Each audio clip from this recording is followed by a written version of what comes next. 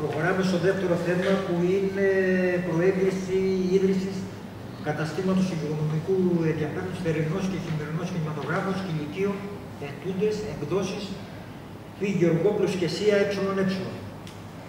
Αυτό είναι ένα καλό θέμα για την πόλη μας και μακάρι για να υλοποιηθεί.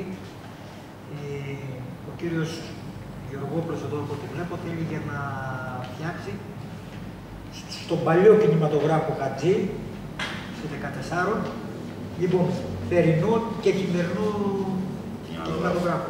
Λοιπόν, έχει όλα τα δικαιολογητικά, εμείς προέγκριση θα δώσουμε. Προτείνω για να εγκριθεί. Όχι, το Ναι. υποστέ. Ομόφωνα. Ομόφωνα. Λοιπόν, Και πάμε. μπράβο, και μπράβο αυτόν τον άνθρωπο. Να. Μπορεί να κάνει τέτοια επένδυση. Λοιπόν,